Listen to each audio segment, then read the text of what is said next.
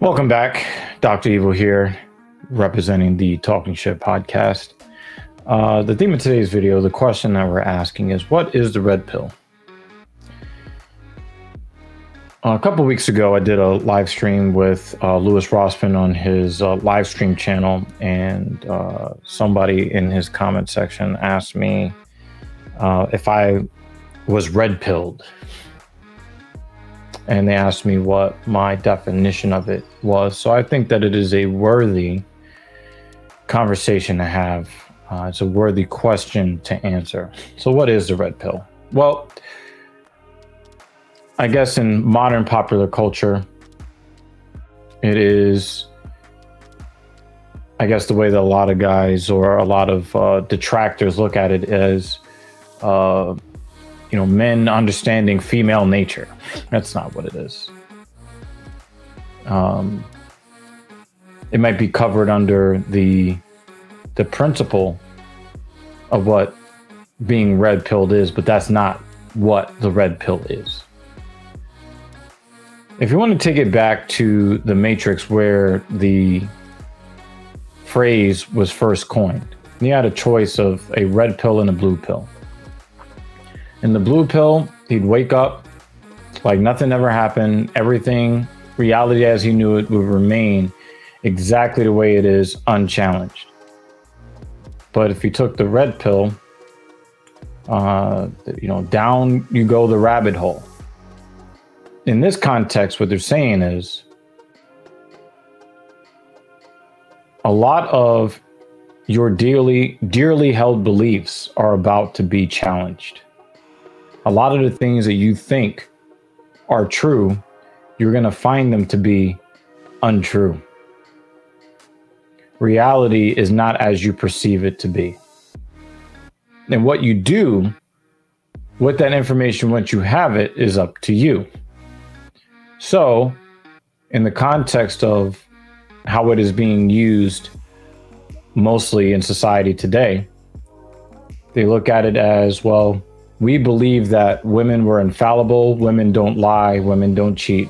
Women are these perfect, sweet creatures that men, you know, take advantage of and take for granted and abuse, et cetera, et cetera. And then when you become red pilled, you find out that women are no different than anybody else. They're just human beings, they make mistakes. Sometimes their intentions are not pure. Sometimes they will take advantage of the perception of purity and they will use it to they'll use it for their own gain and sometimes it might be at the expense of others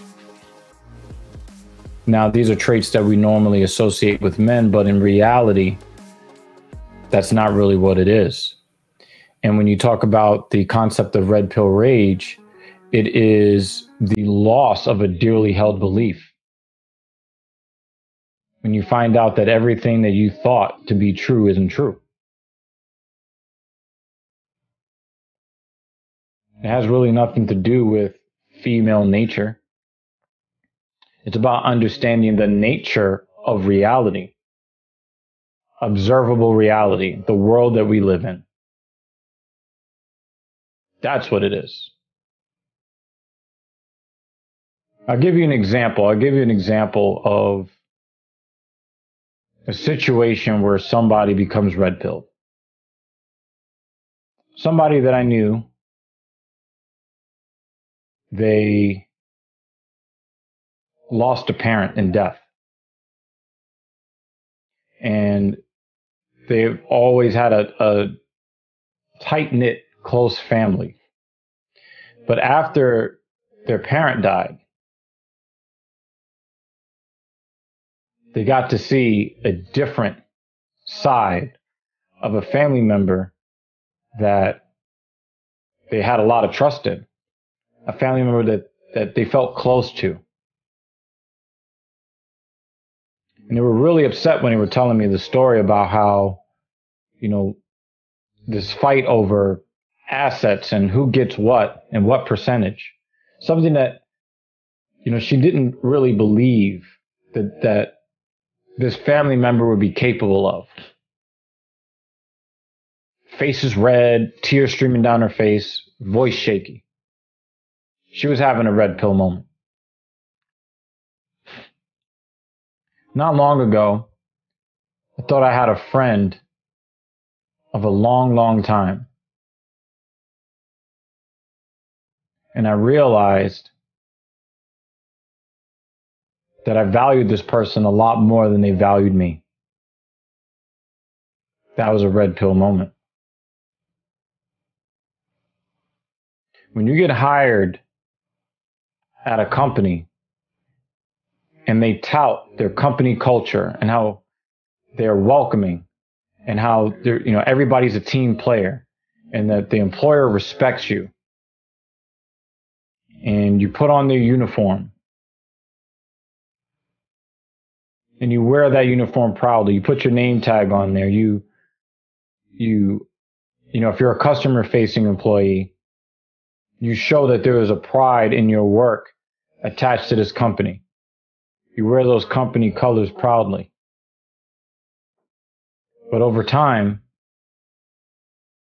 you start to see that what was sold to you was a facade, that there's a lot of politics, the manager's playing favorites.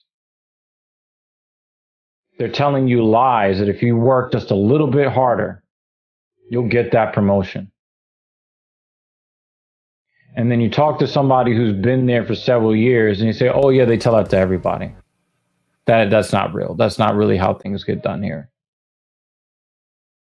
That loss of fervor when you realize that the employer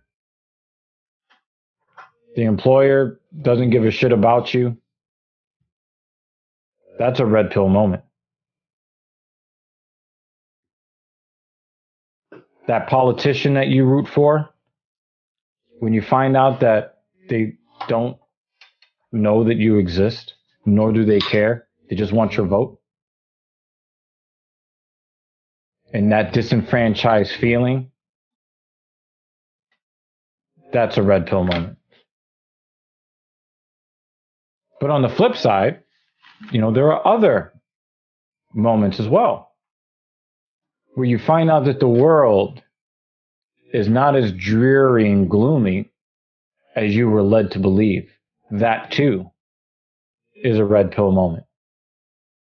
When you believe that all of these members of the opposite sex are so horrible, and then you meet someone or some ones that aren't that way, and then you see the world through a different lens, that's also red pill. You see what I'm getting at here, people? the world is presented to you in a certain way. And many times it's just a facade, it's a projection.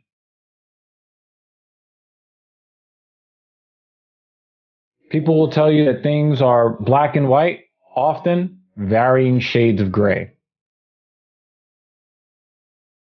For some people that have no hope, they find religion, that's a red pill moment for some people, when they find out that religion is bullshit, that's a red pill moment.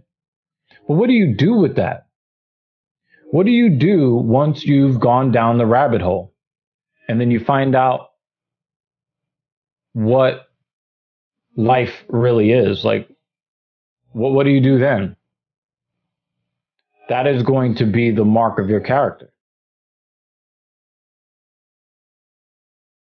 And that's where the red pill rage comes from. You find out that things aren't what you thought they are, and to hell with everybody.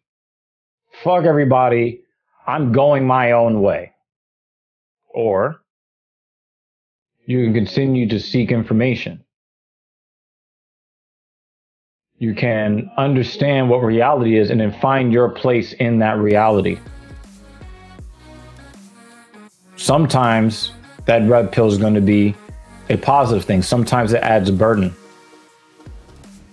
But you always have the power to decide what you're you going to do with the information once the curtain gets pulled back and you find that reality is not what you thought it was?